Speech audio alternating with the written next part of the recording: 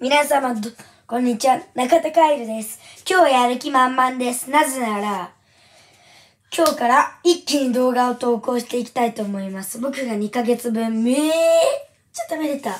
謝罪動画で1ヶ月に1回って言ったんですが、それはこの後です。なのでまずここで、もう編集したいと思います。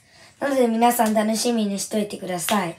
まあ僕は、え、子供なんで編集は無理なんですが、えーそれでもこのライブ配信みたいな無編集の状態でも、皆さん楽しんでいただけたらなって思います。